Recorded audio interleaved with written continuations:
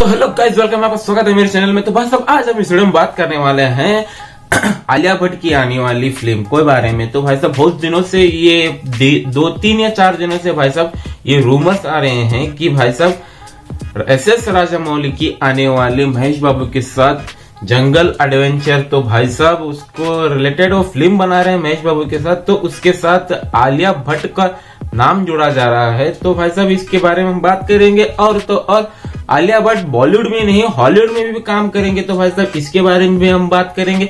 तो चलिए, ज़्यादा कुछ ना टाइम लेते हुए वीडियो को स्टार्ट करते हैं। अगर आप नए हैं तो चैनल में प्लीज़ यार प्लीज़ सब्सक्राइब कर लेना लाइक शेयर और कमेंट भी कर लेना। हाथ जोड़कर विनती है सब्सक्राइब ज़रूर कर लेना। आज वीडियो अच्छा लगा तो लाइक शेयर और कमेंट भी कर लेना। तो चलिए वीडियो को स्टार्ट करते हैं। आलिया भट्ट की भाई साहब गंगूबाई कातियावाड़ी आने के बाद इतनी क्रेज बढ़ गया है तो भाई साहब वो सौ करोड़ के आसपास है तो भाई साहब बॉक्स ऑफ़िस पर इतना राज कर रही है कि भाई साहब, सौ करोड़ के पास ही है। तो उसके रिलेटेड भाई साहब एक सेपरेट वीडियो तो लाऊँगा ही मैं। तो और तो और भाई साहब एस एस राजा मौली की आने वाली नेक्स्ट फ़िल्म महेश बाबू के साथ एक जंगल एडवेंचर है। तो भाई साहब, महेश बाबू के अपोजिट आलिया भट्ट को लेने की तैयारियाँ चल रही है। ऐसा मैं नहीं कह रहा हूँ, भाई साहब, अंदर से रूमर्स आ रही है।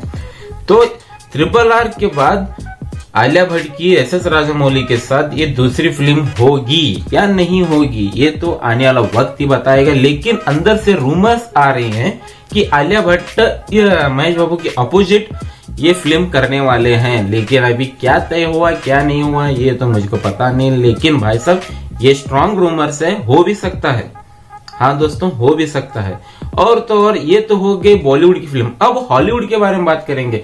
नेटफ्लिक्स पर भाई साहब एक फ़िल्म आ रही है हॉलीवुड की, जो आलिया भट्ट के साथ वो करने वाले हैं। लेकिन रोल कितना होने वाला है, ये तो मुझको पता नहीं। हाँ दोस्तों नेटफ्लिक्स पर एक आने वाला है। तो देखेंगे, आने के बाद हॉलीवुड के साथ बॉलीवुड के साथ हॉलीवुड भी कितना काम करते हैं। ये तो आने वाला वक्त ही बताएगा, लेकिन भाई साहब, बॉलीवुड के साथ हॉलीवुड भी काम करना, ये तो आसान भाषा में काम नहीं है, लेकिन कितना रोल होने वाला है, ये ये अभी कुछ भी पता नहीं चला है, कितना रोल या पाँच मिनट या दस मिनट या पूरी फ़िल्म में होने वाली, ये बिल्कुल पता नहीं, लेकिन भाई साहब, पाँच मिनट, दस मिनट का रोल होना चाहिए तो करना ही मत, आलिया बट तो इतना ही कहूँगा, ये तो नहीं करना चाहिए पाँच या दस मिनट का रोल होना चाहिए तो नहीं करना चाहिए। प्रॉपरली पूरा एक रोल होना चाहिए तो तभी करना चाहिए। तो इस वीडियो में सिर्फ़ इतना था तो आपको कैसे लगे न्यूज़ तो कमेंट में ज़रूर बताना। और वीडियो जरा भी अच्छा लगा हो तो लाइक शेयर कमेंट भी कर लेना। तो चलिए, हम चलते हैं। जय हिंद।